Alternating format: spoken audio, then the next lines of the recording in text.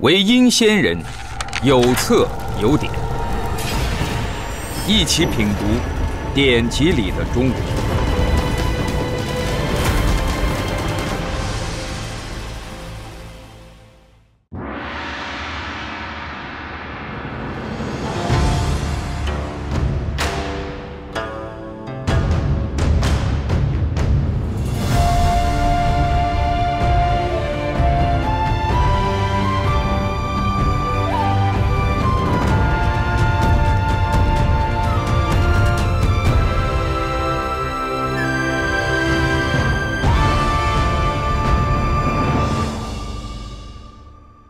在典籍里的中国，让我们一起识读《徐霞客游记》。我徐氏一族男儿可以不取功名，但不可不立志。丈夫当朝碧海而暮苍梧，丈夫当朝碧海而暮苍梧。父爱如山，母爱如河，让我行万里路而心中有根。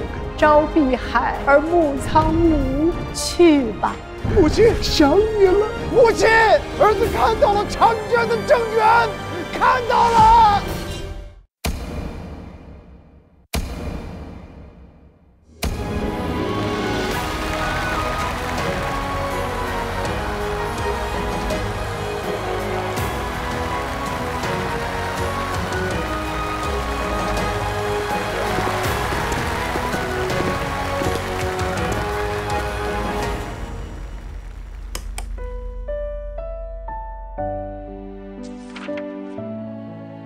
一九七六年八月二十五日，中国青海省唐古拉山脉。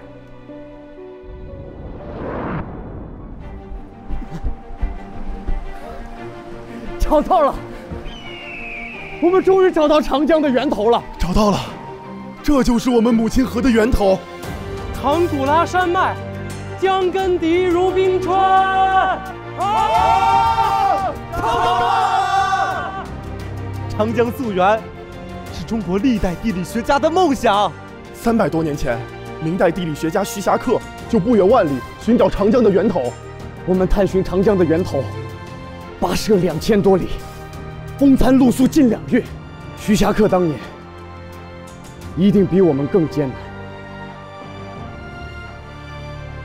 一六三八年，明朝崇祯十一年，金沙江元谋断。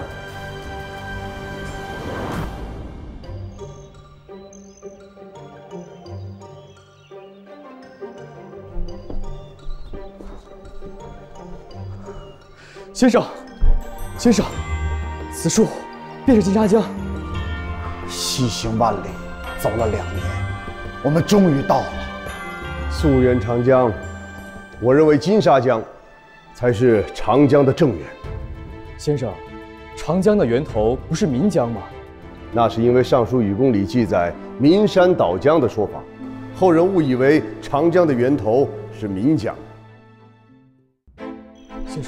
先生，小心！哎，先生，哎，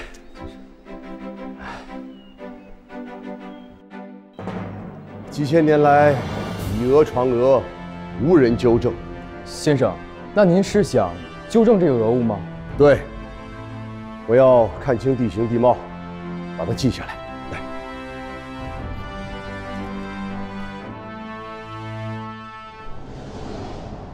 徐霞客先生啊，敢于纠正前人的讹误。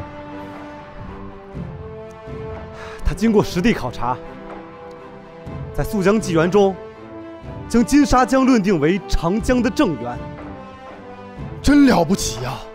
三百多年前，他没有现代地理学的测绘手段，凭双脚行走、双眼观测就做出了正确的判断。徐霞客先生突破了我国古典地理学的束缚，使我国地理学进入到近代地理学的新阶段。这在中国地理学史上具有重大意义。我幼时就有追溯长江源头的梦想，追根溯源，我们只是走出了第一步，我们还要继续走下去。来，先生，小心！哎，先生，先生，先生，先生，你的脚都这样了，不能再走了。这点伤痛算得了什么？历代先贤开辟家园，正所谓高山如父，江河如母。追根溯源是我们后代子孙应尽的本分。我们要沿着先人的脚步向前一步，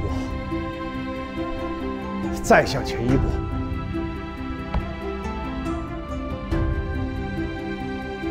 哈哈哈哈！咦，这腿好像不疼了。哈哈哈哈！啊！你脚都肿了？没事儿。探寻长江的源头，是中国历代地理学家的梦想。我们在前人的足迹上更进一步，完成溯源。从今天开始，母亲河长江的长度确定为六千三百公里，超越密西西比河，成为世界第三大河流。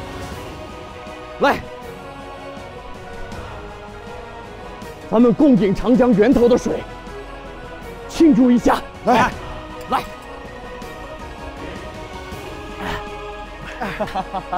真钱！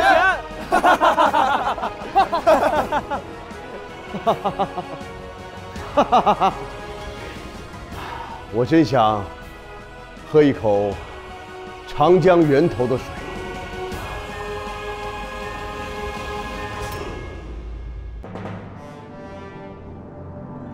四千多年前，黄帝、大禹等先贤劈山通道，治理江河，分定地域，用实践为中国古典地理学奠基。三百多年前，明代地理学家徐霞客承前启后，为近代地理学开拓创新。此后，一代又一代地理学家继往开来，中国地理学逐步演进成现代地理学。今天。在典籍里的中国，就让我们一起识读中国近代地理学奠基之作《徐霞客游记》。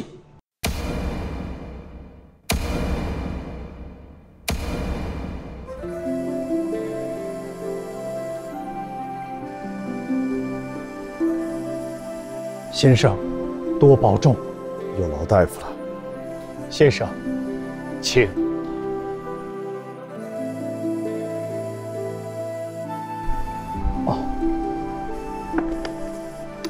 这是药方，随我去抓药。好。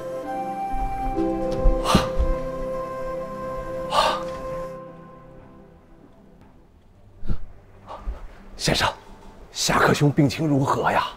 哎，徐侠客先生双足俱废，已病入膏肓。我只能尽人事，剩下的听天命吧。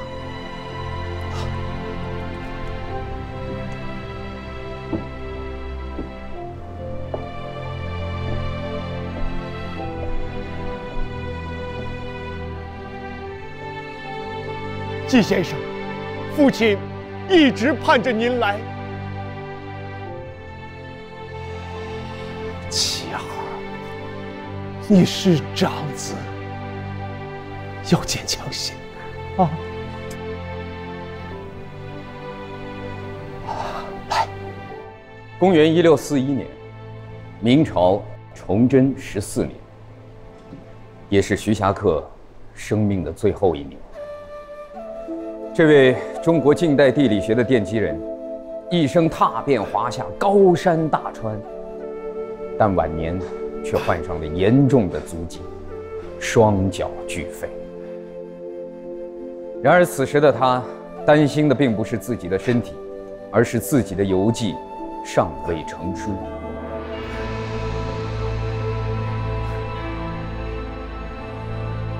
他把书稿。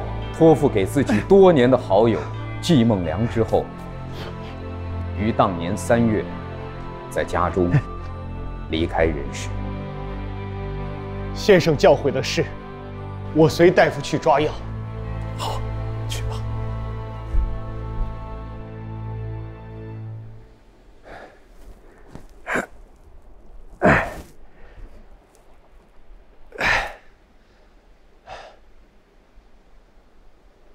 来人！来人！夏克兄，哎呀啊！慧明兄，你这让你见笑了。哎，你说我这双脚啊，踏遍五岳，游历九州，溯源长江，哼现在居然近在咫尺的书稿都捡不起来。你说，我该怎么把这些书稿整理成书啊？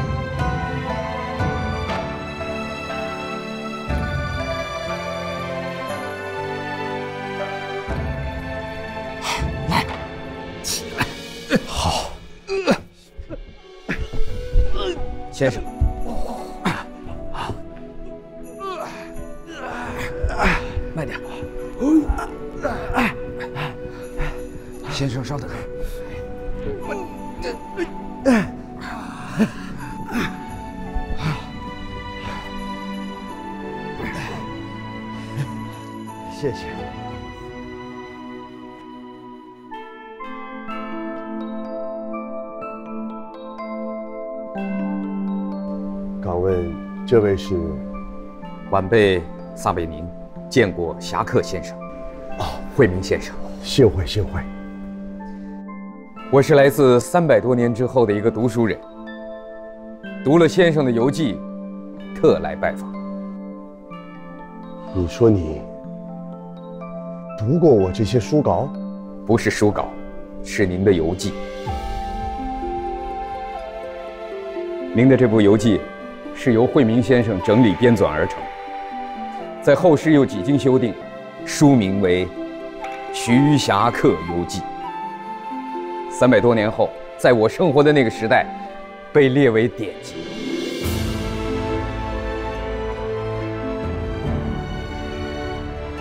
您的这部书在后世被称为中国古代地学百科全书，也是中国近代地理学的奠基之作。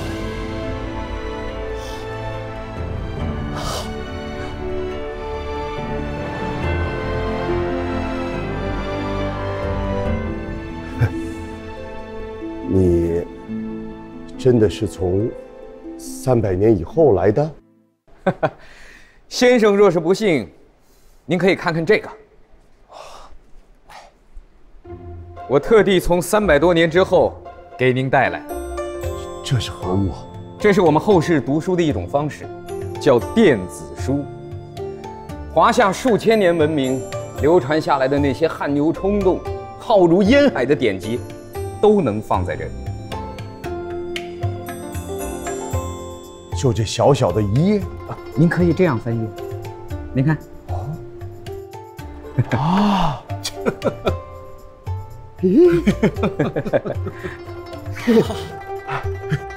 您现在看的这是电子版。后世所知，最早的成书版本是由慧明先生亲自手书的。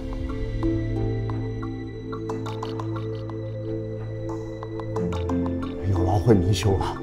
哎，还要谢谢撒军，让我们看到这些。哪里？侠客兄啊，放心，整理这些书稿，就是我季梦良下半生最重要的事情啊！啊，你先与撒军详谈，我去取我的书箱去。好，好。好慧明先生辛苦。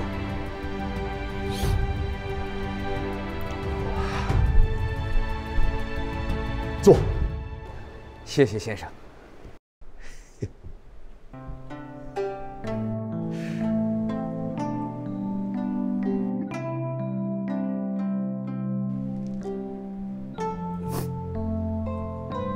我在云南生病，失去双腿，虽不远千里，我还是回到了老家江阴，为的就是回到生我养我的地方。现在我知道我的生命将去何方，我就放心了，放心啦。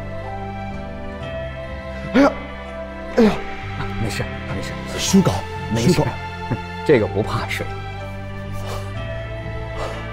先生曾经探寻长江正源，这一壮举在后世传为佳话。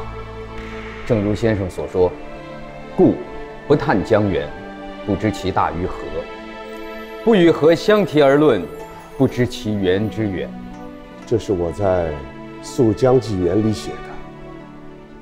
先生还曾经说过：“丈夫当朝碧海而暮苍梧。”啊，您的这番气概，在后世让无数人钦佩。是啊，华夏山水养育了我们一代又一代的黎民。正所谓，高山如父，江河如母。我们怎能？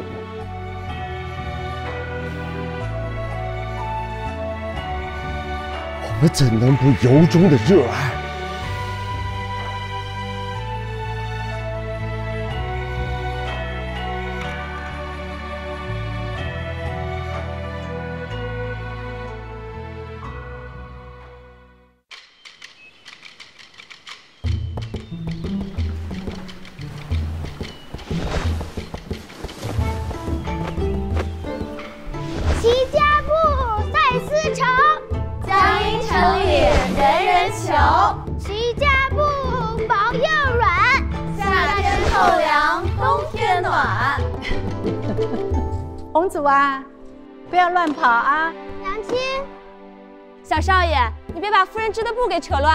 这些布可是被客商预定了。娘亲，你织的布像长江那么长。不要乱跑！来来来，哎呦呦呦，淘气！红祖啊，过来，我跟你说呀，那个长江啊，比我们江阴城里所有的布加起来还要长得多。啊？那它有这么长吗？当然啦。他从哪里来？从名山来啊。名山？名山远吗？名山是它的源头，远得很。母亲是怎么知道的？古书里写着呢。那我长大了一定要去名山看看。哈，是吗？好，好，好。那我们红族啊，将来到名山去看看，回来以后就告诉娘亲，好不好？没问题，包在我身上。去玩吧。哎呦，徐家布，薄又软，夏天透凉，冬天暖。父亲，我童子时落地，丢了徐家的脸。洪祖啊，你的高祖父和唐伯虎同科会试，却遭人诬陷，双双被革去功名，削除世籍。他留下祖训。我徐氏一宗男儿，可以不取功名，但不可不立志。父亲，我有我自己的志向。啊！我很佩服郦道元先生，我想要做他这样的人。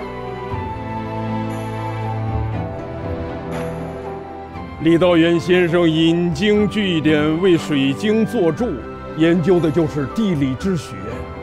这门学问源自上古先贤，由圣人实践开篇。哪些先贤？第一位当属我们的祖先，黄帝。我一生奔波，劈山通道，东到东海，西到崆峒，南过长江，北到釜山，与诸侯合宴服气。在涿鹿山脚下建起都城。皇帝一生行走于山水，未尝宁居，洪祖啊，圣贤的功业就是建于山水之间。将功业建于山水之间，这话听着就霸气。父亲还告诉我，不止皇帝，还有先贤大禹，也是将功业建于山水之间。《尚书》禹贡记载：禹夫土随山堪木，奠高山大川。我划分了土地的界域。顺着山势行走时，砍伐树作为路标，以高山大河奠定界域，九州一统，四方的土地可以居住了，四海的道路畅通无阻，界定地域，治理山河，这就是大禹的功业与气概。我等后世子孙因学先贤。热爱山河，郦道元先生对山河就很热爱。洪祖啊，郦道元先生学识渊博，《水经注》里引用过《尚书》《山海经》《史记》《汉书》《地理志》等典籍史料有四百多种呢。我年少时就立志要为《水经》作注，成年后我跋涉郊野。寻访古迹，追溯河流的源头，将自己的见闻记录下来，做《水经注》。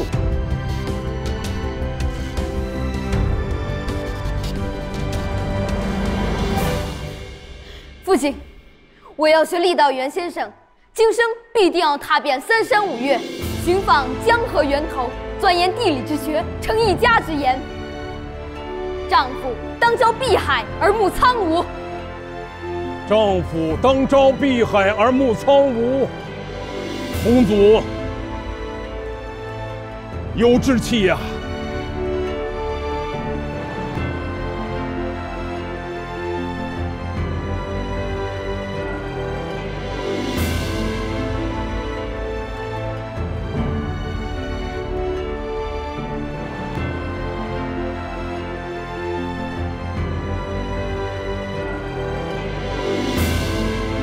父亲激励我少年立志，教我读万卷书，还要行万里路，游历山水。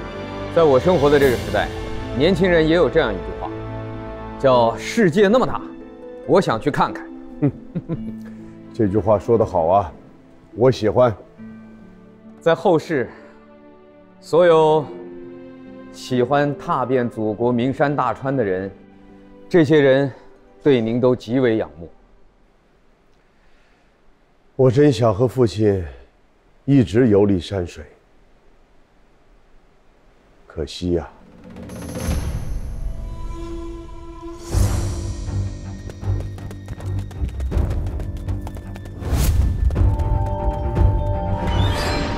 干什么？你们干什么？站住！来人啊！抓贼呀！站住！站住！把东西给我！走了，走。少年们，还我们不家不平，还轻你们的！来人了！抓贼了！抓贼了！给我追！少爷，少爷，快看看老爷，老爷受伤了！夫君，你怎么了？夫君，父亲，快起来！父亲，夫君，啊，父亲，你怎么了？儿啊，快，快，快叫大夫！叫大夫！叫大夫！啊，叫大夫！快醒醒啊！你醒醒啊，父亲！大夫！叫大夫！快找大夫！父亲，醒醒啊，父亲！夫君，你快醒醒啊，夫君！父亲受伤后，从此便一病不起，没多久就去世了。不瞒您说，在历史记载当中，您现在生活的这个时代是明朝末年，连年的旱涝、蝗灾。内忧外患接踵而至，社会动荡不安。为父守孝三年，我每日沉浸在悲痛之中。每当想起父亲对我的疼爱和教诲，我便泪流不止。后来是您的母亲引导您走出了悲痛，她鼓励您出游，实现了在父亲面前许下的心愿。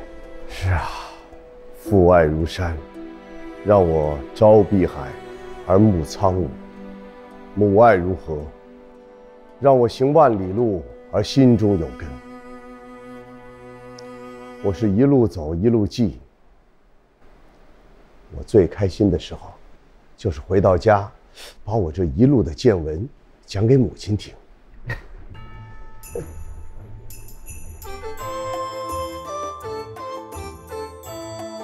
母亲，母亲，儿子回来了。红祖回来了。母亲，哎呀，我儿回来了。母亲，老夫人，我儿母亲回来了，让我看看你。儿子，有你回来了。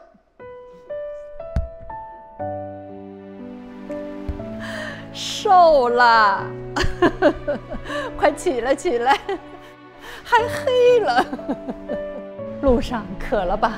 快喝茶。母亲您坐。啊，母亲天天都盼着你回来呢。谁说的？我可没想他。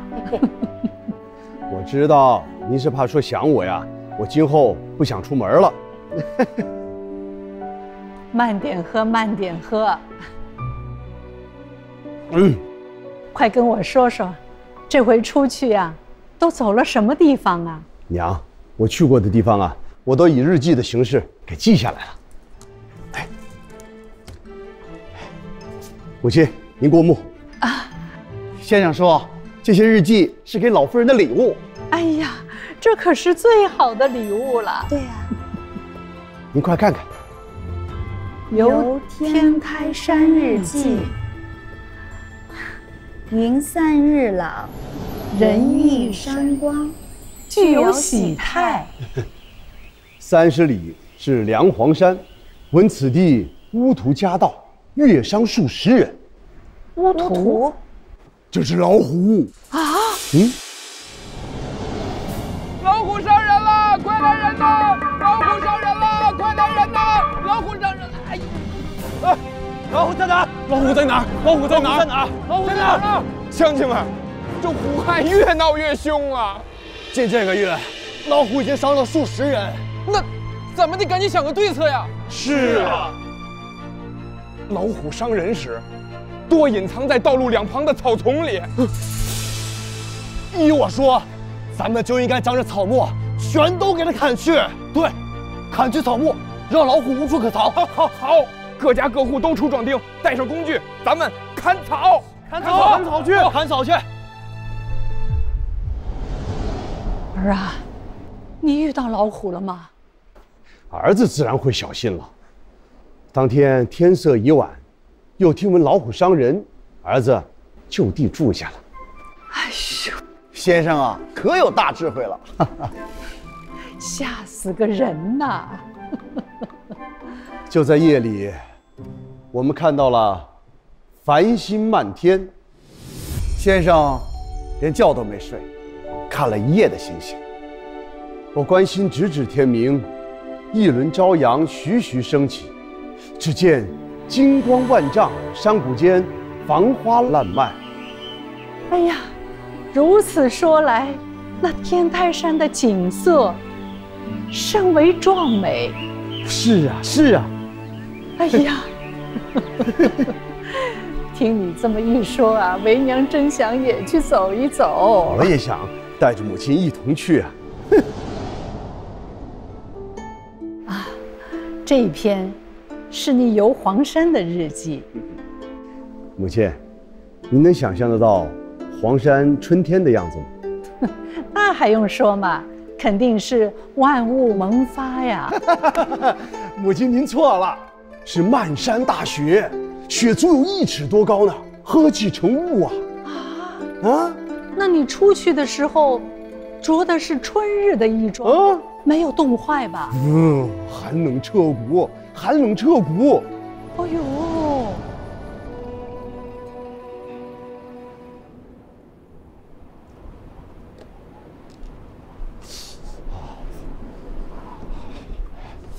哎，大哥，能不能卖件厚衣裳给我们？我是砍柴的樵夫，又不是卖衣服的。哎哎，大哥，这位大哥，这位大哥，我家先生是好人啊！哎，徐安，你这是干什么？男儿膝下有黄金，至于吗？咱们走。我先生，可是可是你冷啊！等一下，你都冻成这样了，这个给你，谢谢大哥。请问两位这是准备去哪儿啊？啊，我们想去莲花峰啊，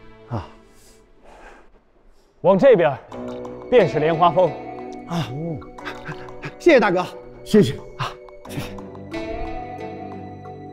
当时世人都以为天都峰是黄山的最高峰，但您去实地看完之后，您的结论是莲花峰是最高峰。那后世可有什么定论？我们在后世。用最精准的科学手段进行了测量，您猜怎么着？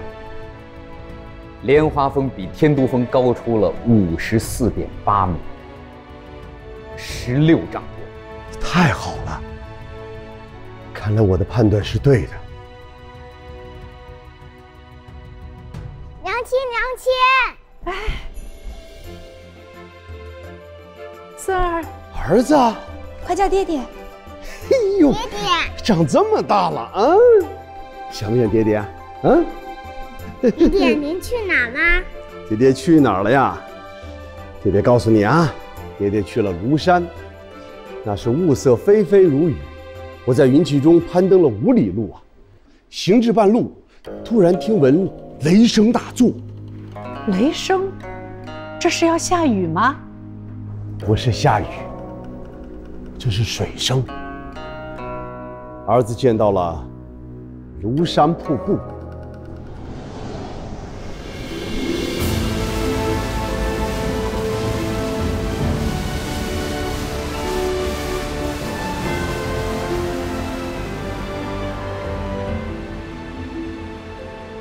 飞流直下三千尺，疑是银河落九天。谁？在吟我的诗啊！你的诗，这可是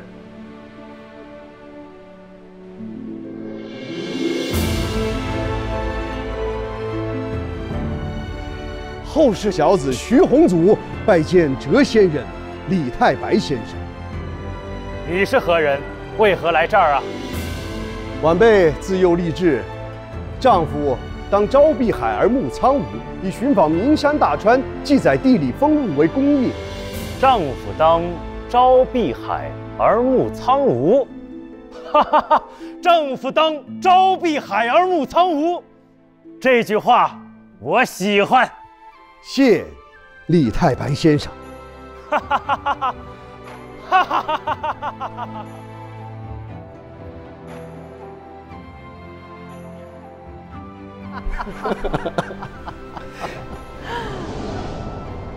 母亲最喜欢我的游记。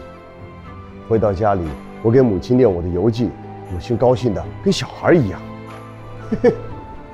山水皆有情，您的每一篇游记，其实都凝聚着您和母亲的天伦之乐。是啊，因为游记，我还结识了不少新朋友。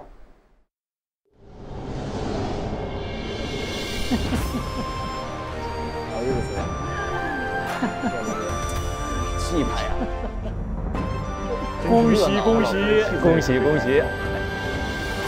祖母，祖母！哎呦哎呦哎呦，这位是孙儿徐启，恭贺祖母八十寿辰，祝您福如东海，寿比南山。你真孝顺，真是乖呀！孙儿快过来！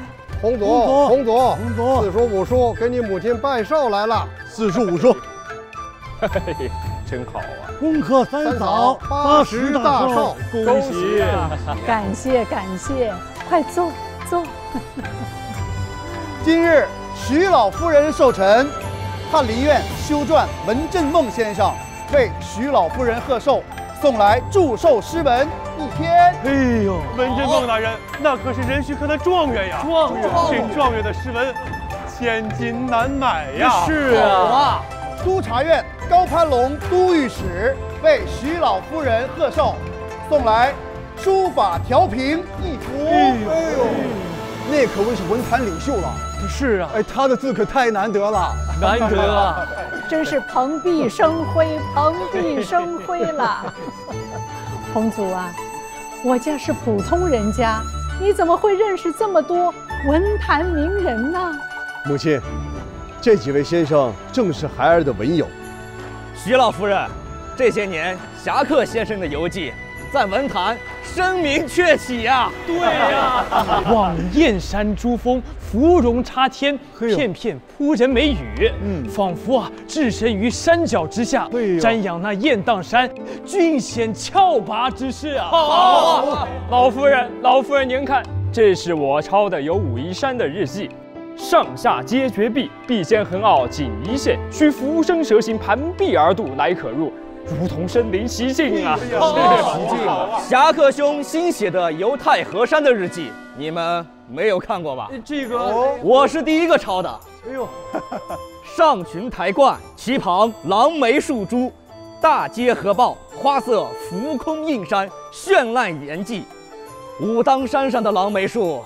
那可都是神树啊！是啊，今日孩儿送给母亲的寿礼，正是这武当山上的狼眉仙果。哎呦，这狼眉仙果难得一见呐，难得一见啊！我还是第一次见。哎呦，祝母亲福如东海，寿比南山。好啊，我儿有心了。祝母亲老夫人福如东海。寿比南山，感谢感谢，快坐坐。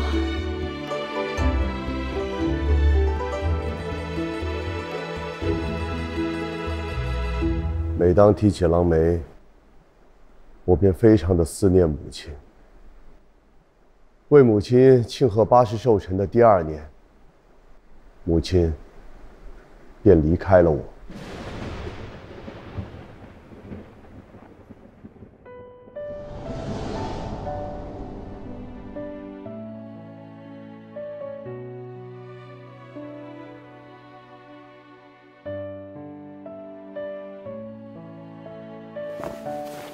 来，慢点嗯。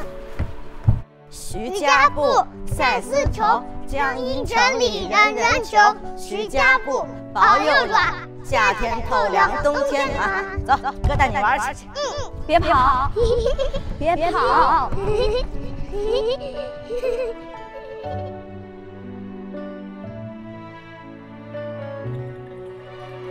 徐家埠，赛丝绸。江阴城里人人求，徐家布，赛丝绸。江阴城里人人求。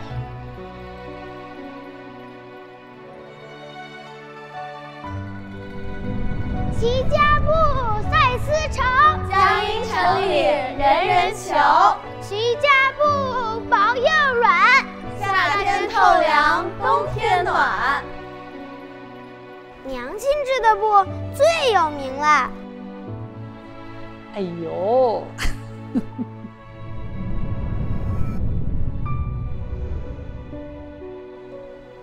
徐家布，薄又软。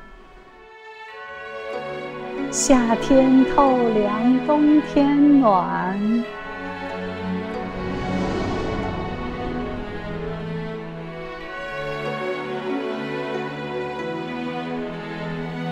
亲，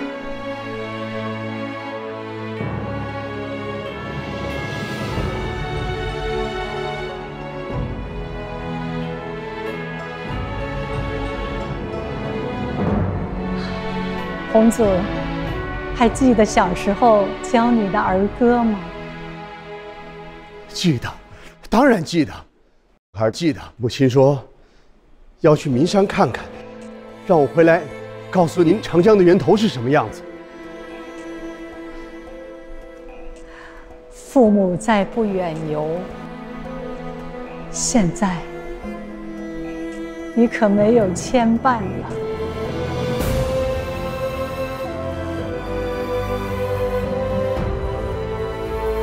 朝碧海而暮苍梧，去吧。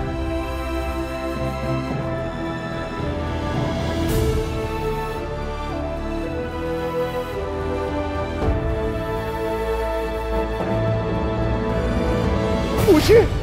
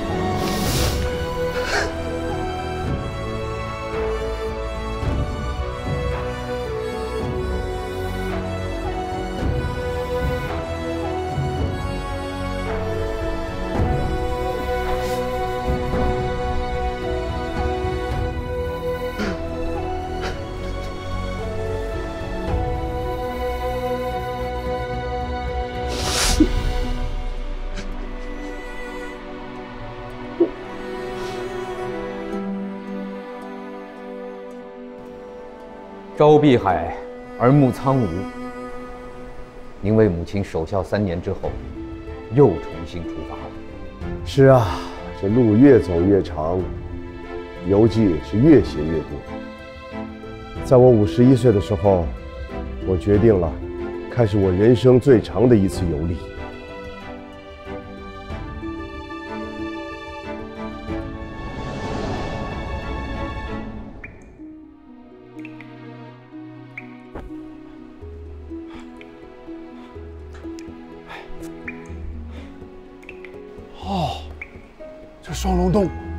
如此凄美。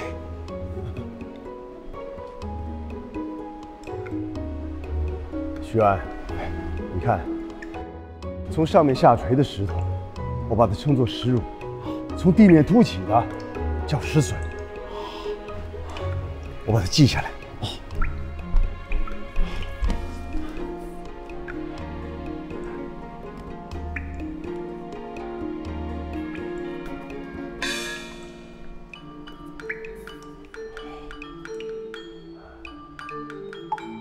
双龙洞，石乳下垂，色润形幻，若琼柱宝状，横列洞中。先生，你写快点啊！此地不宜久留。为什么？山民说，这洞里有龙。有龙？嗯。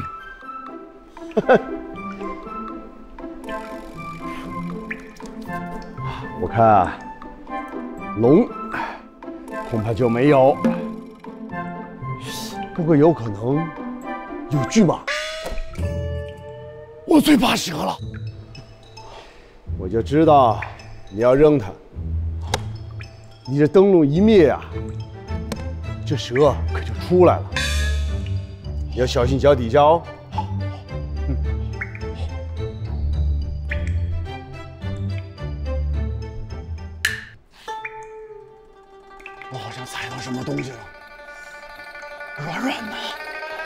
巨蟒！你踩到我的脚！啊！哦哦哦哦！啊，对不起，先生。你看看，因为这洞口啊有两根下垂的石钟乳，形似巨龙，所以叫做双龙洞。行了，把行李拿着，咱们走。啊，对，不管有没有巨蟒，我们也不能再。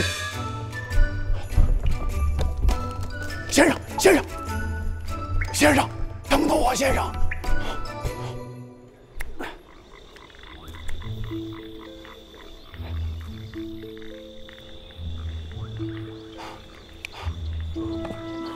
先生，先生，着了，快，哦，快来烤烤火，来。啊，啊，暖和多了。啊，先生，你的脚怎么样了？嘿，昨日脚伤发作，疼痛难忍。哎，今日不知怎么回事，走着走着，疼痛减轻了。哼我就佩服您这双脚，我是走不过您的。轩，这一路你受苦了。不苦。马先生，嗯，今日在悬崖之上垂索而下，我都担心死了。有什么好担心的？我这脚疼的时候爬山也不是第一次了。这也就您能够舍命去攀山看水，才能写出这么好的游记。你不提醒我，差点忘了。把笔墨拿来。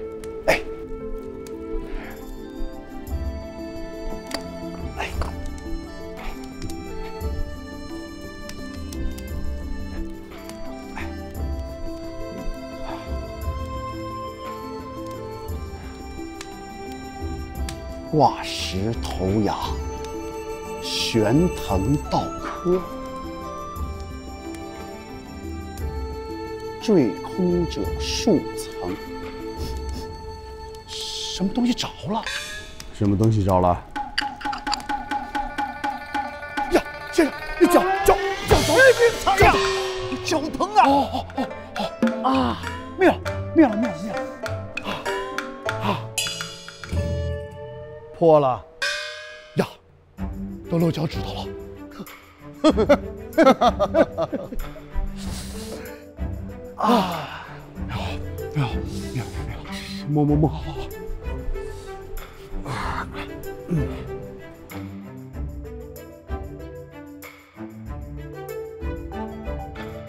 万里霞征，这可是后世公认的《明游记》中最精彩的篇章。是啊，我这一路是收获颇丰，结交了许多新朋友。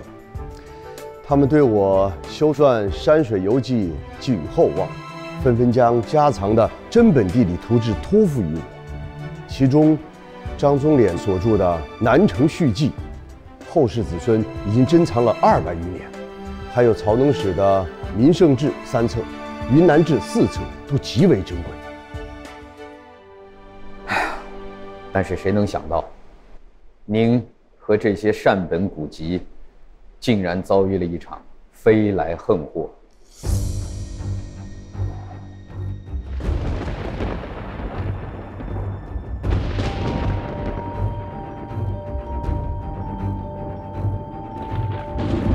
强盗抢劫了！强盗抢劫了！抢劫了！强盗抢劫！强盗抢劫了！先生，先生，先生，先生，徐安，前面怎么回事？前面，前面有强盗！强盗，快走，快走，走！哪儿跑？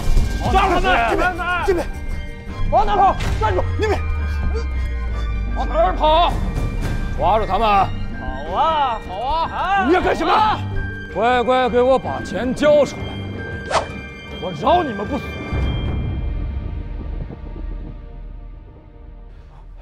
钱给你们，不要伤人。你的呢？我是个仆人，身上没钱。是，他是仆人。废什么话！哎，钱都给你们了，不要伤人呐！这才几个钱，箱子里应该更多吧？背脊里没有钱财，只是书籍啊。是，各位好汉，对你们来说一文不值，对我来说价值千金。没钱还抢这么严，骗谁呢？说，不是，哎哎哎，你们，还我书，还我书，找死！先生，先生，对，让开，下下，这，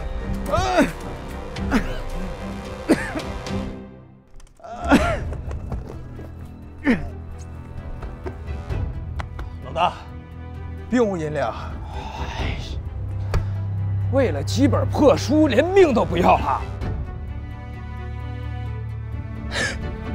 兄弟们，撤！撤！兄弟们，快走！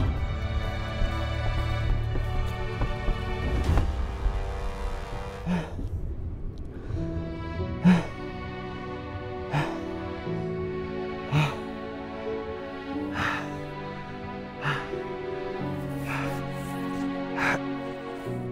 哎，哎，哎，雪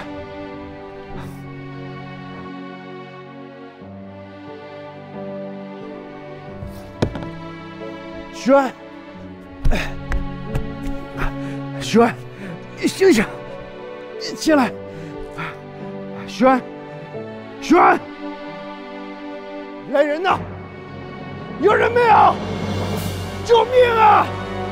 有人没有？轩，你醒醒！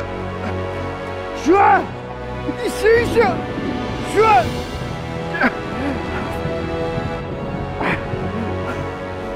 来人呐！有人没有？救命啊！来人呐！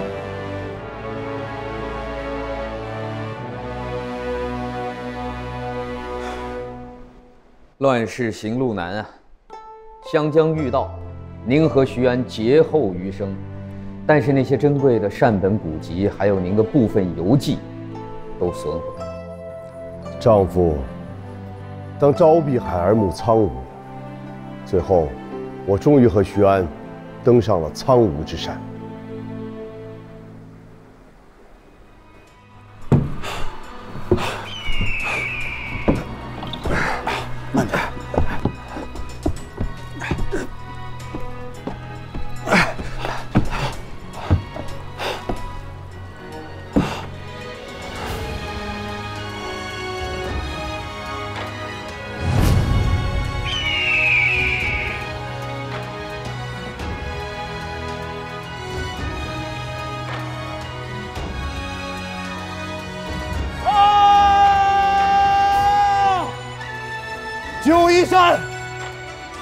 之山，我徐宏祖，我徐安，我们终于到了，我们终于到了，到了苍梧之山。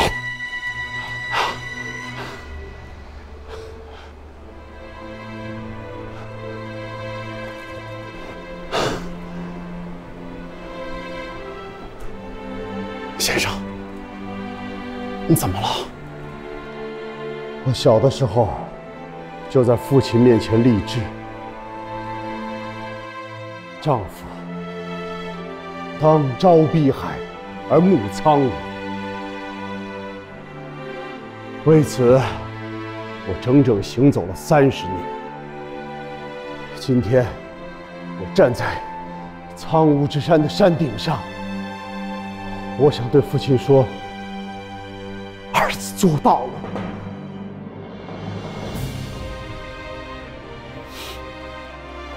儿子做到了。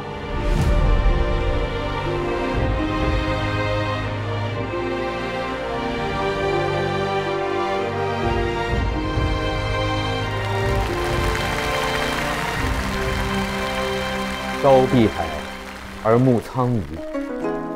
这是一种纵横于天地之间、不计远近、不计朝暮、不计山海的理想与豪迈。是啊，这是父亲对我的期望，也是我毕生的志向。而后，您又继续西行，完成了您最重要的一个心愿——溯源长江。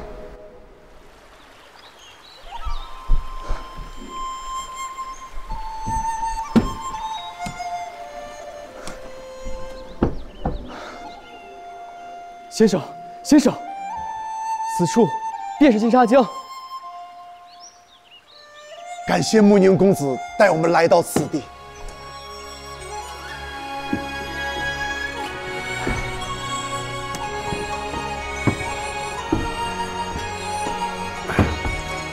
先生，从这攀上去就能俯瞰整个金沙江了。咱们上！哎，先生，先生，你的脚风痛肿胀，坐着都疼，不能再爬不要劝我了，我一定要上去。走。好，这也是我们西行的最后几步，我陪着你。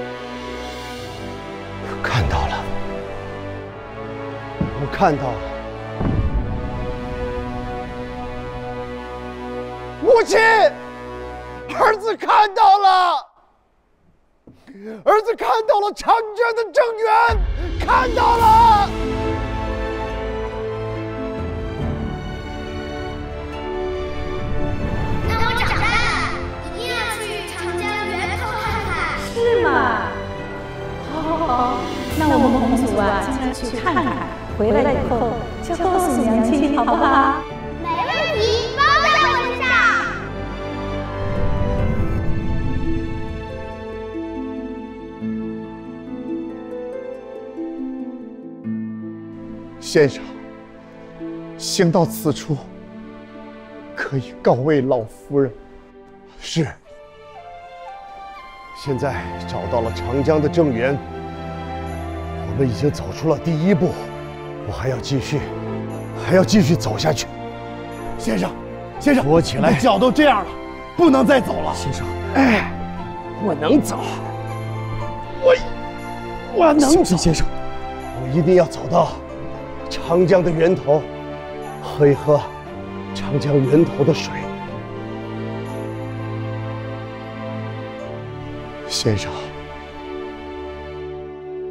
我家中尚有年迈的父母，我想回家。你说什么？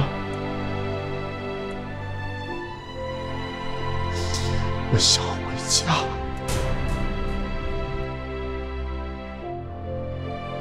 你得跟我一起追溯长江源头。咱们得一起回去。好，先生，那我们先下山，往后怎么走，我们再说，好不好？好，咱们下山。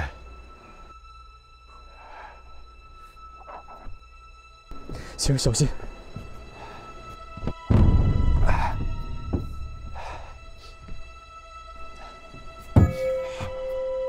先生，先生，先生，先生，先生，先生，先生，先生，先生，先生，先生，先生，我还想继续走下去，去追溯江源，完成我对母亲的承诺。可是没想到，我的腿疾再次发作，云南成了我万里霞征的最后一站。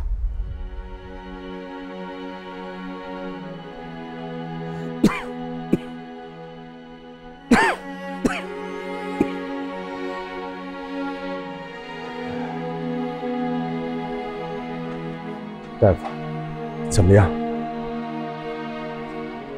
别着急，慢慢调养。先生，您保重。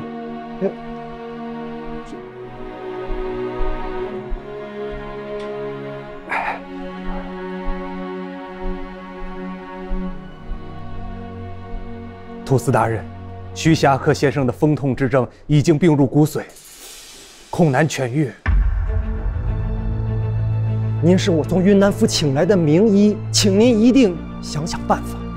大夫，先生他万里霞征，还要去找长江源头，恳请大夫一定保住先生双脚。走路是再无指望了，如果不好好休养，性命也堪忧啊！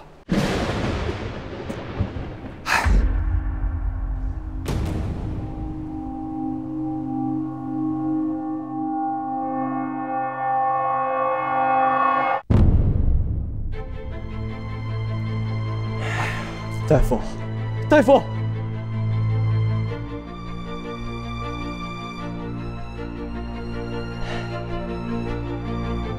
先生莫急，身体可以慢慢的将养。只是以后不能再行走于山水了。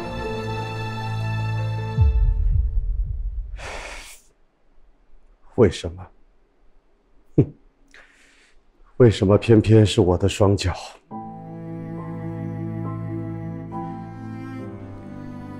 我是一个行走了一生的人，不能在此卧于病榻。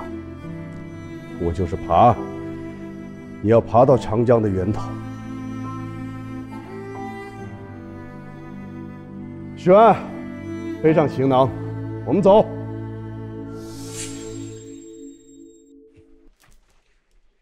玄，先生，玄，玄，他，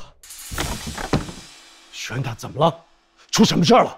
许安他逃走了。逃走了。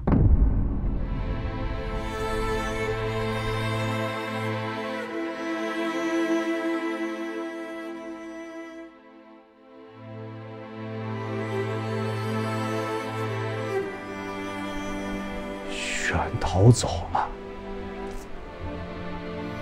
哼，我的脚，我的脚也离开我了。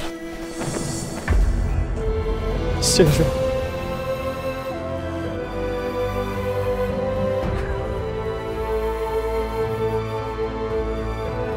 先生，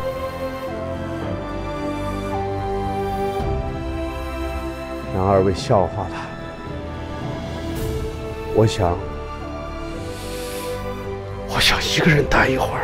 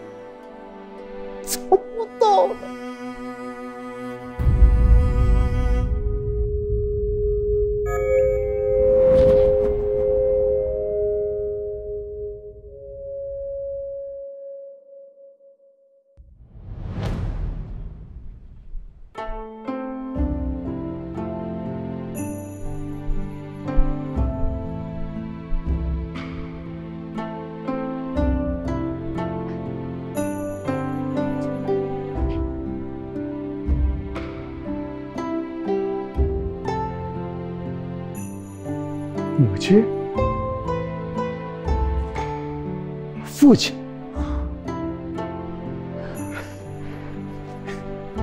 皇祖啊，溯源长江，你做到了。皇祖啊，丈夫当朝碧海而暮苍梧，你也做到了。我们以你为傲。我们以你为傲。父亲，母亲，我走不到长江的尽头了，我就差一点走不到了。走不到就回家，回家。公主，请万里脚下有根，回家吧。回家吧。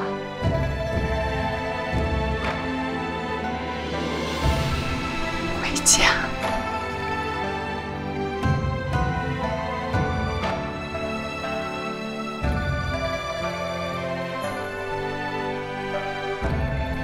回家。回家。回家。回家。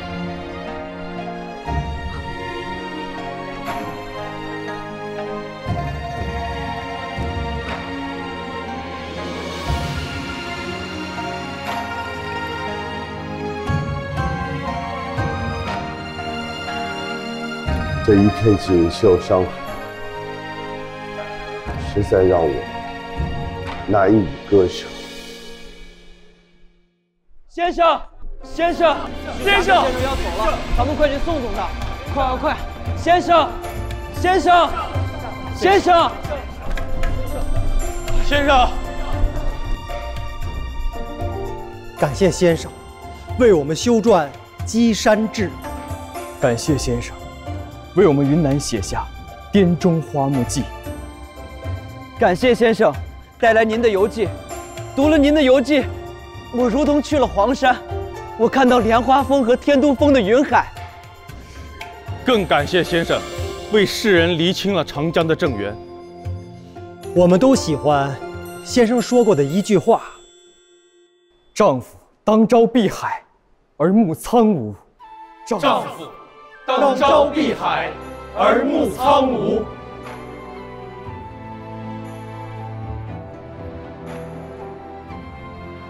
谢谢，谢谢。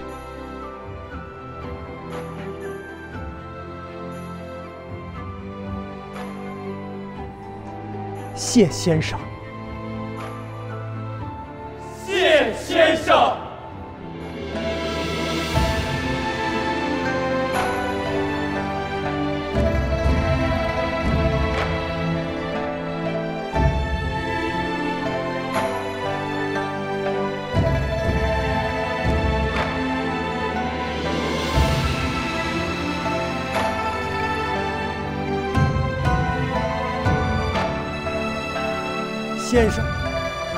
保重。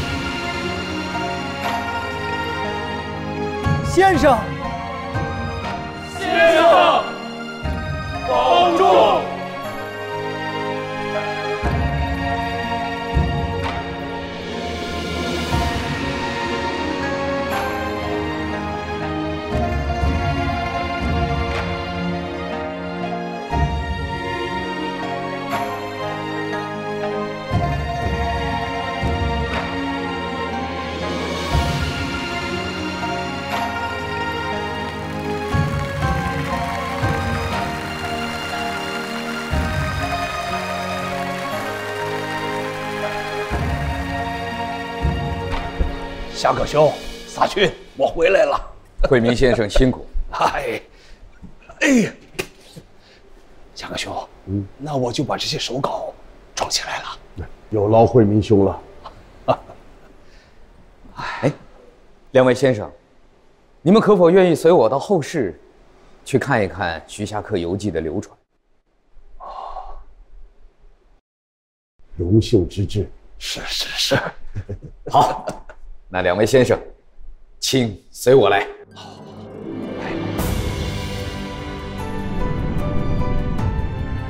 先生亲近山水，记述山水的功业，为后世所敬仰。后世也有很多人渴望踏着您的脚步，去游历华夏山河。在后世，我们管这个叫旅游。哦，旅山水风景，游华夏九州。嗯，旅游这个词起得好。还记得您在《游天台山日记》中写道：“癸丑之三月会，自宁海出西门，云散日朗，人意山光，具有喜态。”我们用后世通行的历法一推算，发现您说的癸丑之三月会，恰是那一年的五月十九日。所以三百多年之后，公元两千零一十一年，我们决定把每年的五月十九日定为中国旅游日。啊，好啊！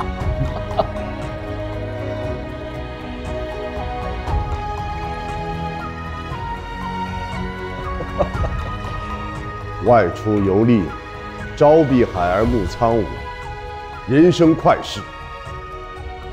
您说的“朝碧海而暮苍梧”，在您那个时代是内心的一种豪迈和气度，但是在我生活的那个时代，已经成为现实了。哦，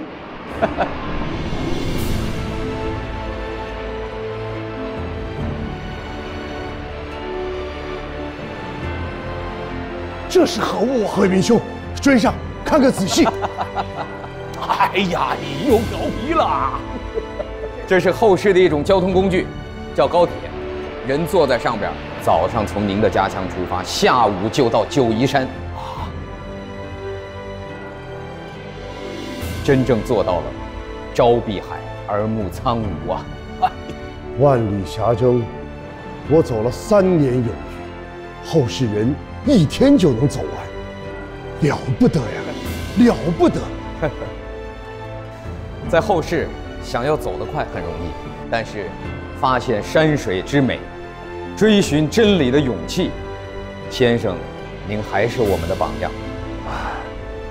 萨勋，我一生最大的愿望就是追溯长江之源，不知后世的人有没有找到啊？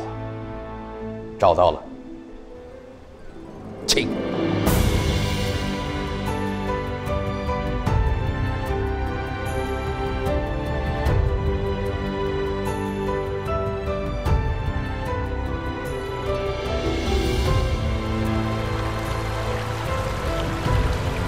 哎呀，下个兄一看呐，哎，哎呀，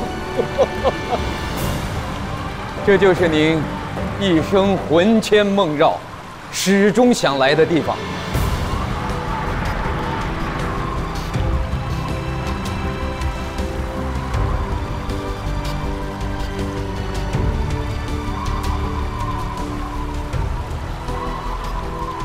这就是长江之源。正是，而且经过后世的考察，此处不仅是长江源，还是黄河和澜沧江的源头。哦，这里孕育了三大水系，被后世称为“三江源”。先生，您在数百年前就曾经探寻长江源头，勇敢地写下自己的论断，言前人所不敢言。那绝对是一次创举。今天的水样检测正常。咱们三江源的水区水质是最好的。你们好，撒老师，你们好，你们好。嗯，您到三江源来了？对，来看一看母亲河的源头，也特别想尝一尝长江源之水。您算来对了。我们在野外都是自己采水喝，是吗？对了，撒老师，我这刚好装了几瓶过滤好的水。哎呀，太巧了，来着了。哎呦，谢谢谢谢，没事，撒老师。那再见，撒老师。嗯，我们还得忙着采样呢。谢谢，再见，再见，撒老师再见。长江源之水。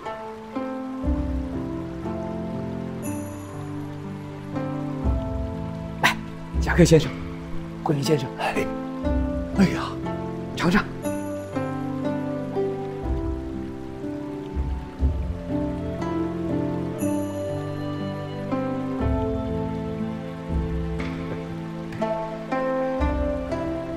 我住长江头，君住长江尾。日日思君不见君，共饮长江水。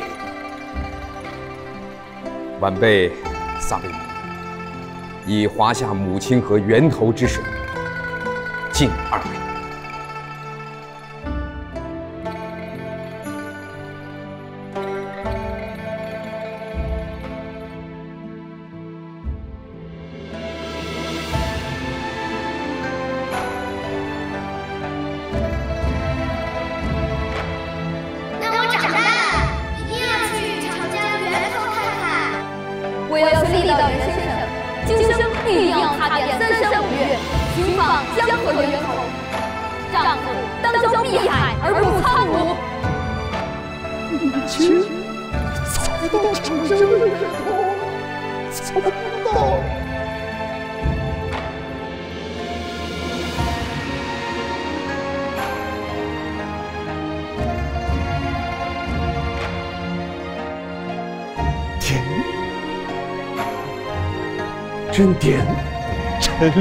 甜啊！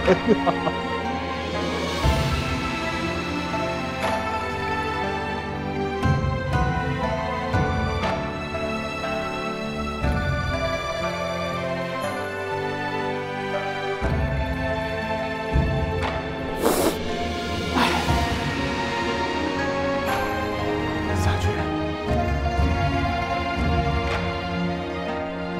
谢谢你，谢谢。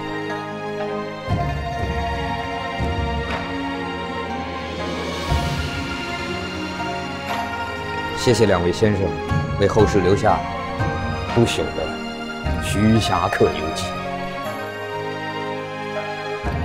先生，回去的路多保重。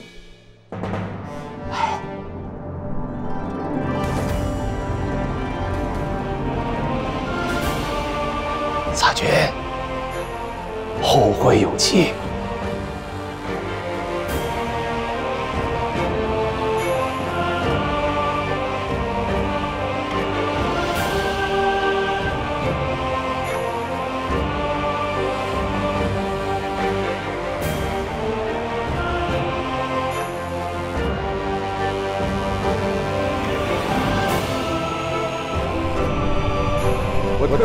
三百多年之后给您带来一颗亮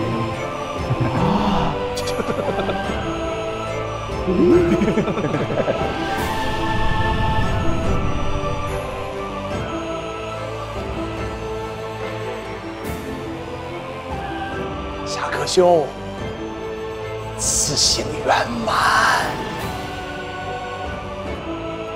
圆满